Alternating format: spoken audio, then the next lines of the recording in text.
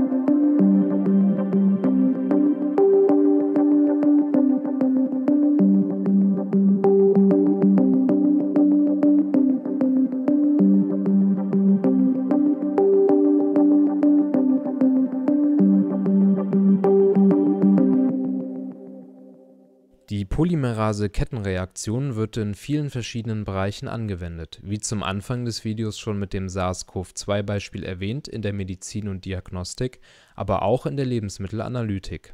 Auch für die Erstellung von Abstammungsgutachten findet die PCR eine Anwendung. Eine Aufgabe der Lebensmittelanalytik ist das Aufdecken von Betrugsmaschen. Eine beliebte Delikatesse aus Süditalien ist die aus der Milch von Büffel gewonnene Büffelmozzarella. Es könnte aber zum Beispiel dieses teure Produkt mit einer günstigeren Kuhmilch gestreckt worden sein. Diese dürfte dann nicht mehr als Büffelmozzarella deklariert werden. Um eine mögliche Verfälschung nun aufzudecken, würde man sich zu Nutzen machen, dass im Endprodukt Teile der DNA vorhanden sind.